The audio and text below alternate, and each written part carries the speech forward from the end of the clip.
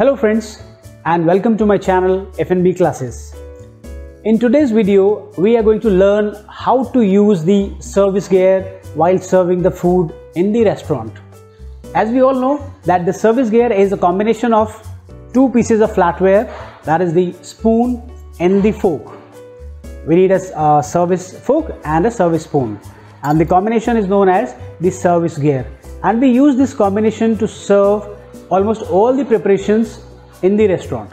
Whether they are the main course preparations or the rice preparations or something with curry or gravy or maybe some fried or grilled or roasted almost everything. So we should know very well how to hold this and how to use this and how to manipulate the service gear if required at times. Let's see how to do this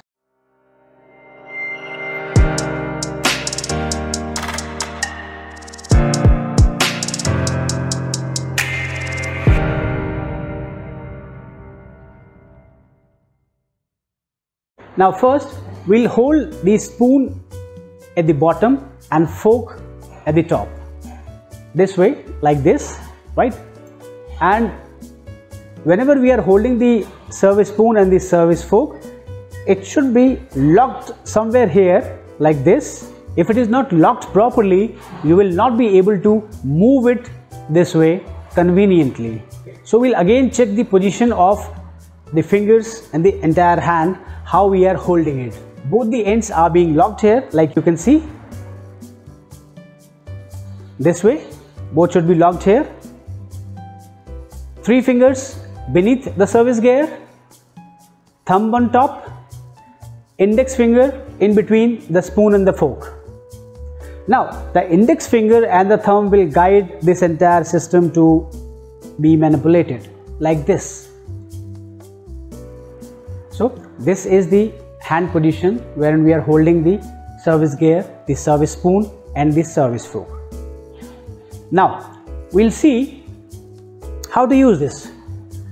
For example, if we are if we are about to serve a rice preparation, now there is no point of you know holding the spoon and the fork like this. And we can use we can manipulate this service gear like this. Now the service gear is in this position.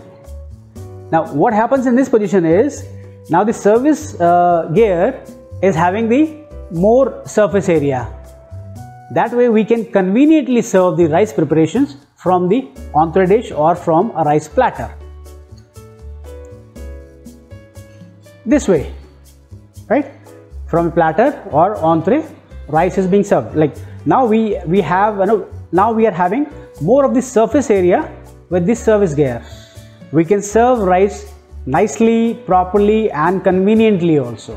Now you can see in this position all the four fingers are beneath the service gear and only thumb is there on the top and I'm holding it conveniently and serving the rice from the entree or from the rice platter to the guest plate. Okay. Next is if, if we are serving something with some curry or gravy. Now uh, in that case, we won't be requiring the fork. If there's something uh, liquid, curry, gravy, the fork is not required. So in that case, what we can do is we can again take it back little much under the spoon and we can use only the spoon to take out the curry or the gravy and this way we can serve the curry or the gravy in the guest plate simply using the spoon only. Right? For rice we can have this little extended to get the more surface area. For curries and gravies we can push it little inside right? This way and we can use only the spoon to serve the curry and the gravy. Now otherwise whatever is being served from the entree uh, I'll show you right? We use we hold it like this if it is a dry vegetable or some piece of steak or grilled fish we can take this pick this you know hold it little firmer so that it doesn't uh, slip off and then taking uh, this uh, entree or the uh, platter onto the guest plate and we can serve that thing this right? Picking holding little firmly little firmly not uh, with too much pressure or strength just uh, with little pressure and then releasing. And if there is something stuck uh, in the spoon also then we can do a quick this thing. Right? We can do a quick this thing. So that whatever is there in the spoon gets slipped off onto the plate. So this way we can serve anything any food article dish preparation with some curry or the gravy or any other thing. Now with this service gear there's one more manipulation which we can do but then this uh, we can do uh, when we are serving a preparation or a dish having a rounded size. It may be uh, some entree with uh, small meat joints. It may be some uh, other preparation. For example, the Indian preparation. There are uh, so many Indian pre preparations wherein we have some rounded objects in the preparation. For example, the dum aloo, the malai kofta, and even there are a lot of desserts like gulab jamun. Now, in those cases, what we can do is to hold that rounded object or the piece of meat or the kofta or the dum aloo conveniently we can do this thing. We can turn the fork upside down. We can turn the fork upside down and this way we are in a better position to hold that rounded object whether it is a piece of meat right or any other thing.